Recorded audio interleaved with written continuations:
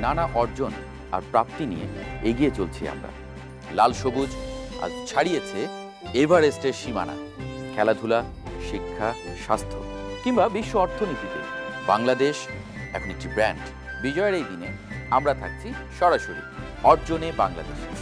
ষোলো ডিসেম্বর, রাত নটা।